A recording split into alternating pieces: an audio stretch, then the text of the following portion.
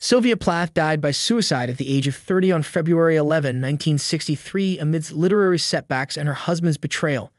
In the midst of a harsh London winter, she succumbed to gas poisoning, leaving behind a legacy of haunting literature that continues to resonate with readers across generations.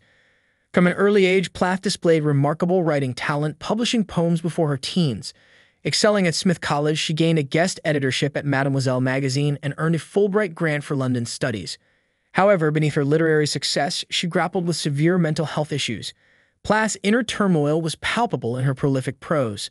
Despite her ascent in the literary world, she grappled with severe depression, requiring psychiatric treatment and experiencing suicidal tendencies.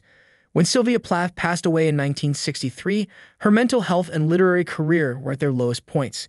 Ted Hughes, her husband, had abandoned her for another woman, leaving Plath to raise their two children alone. Additionally, Plath faced numerous rejections for her novel, The Bell Jar.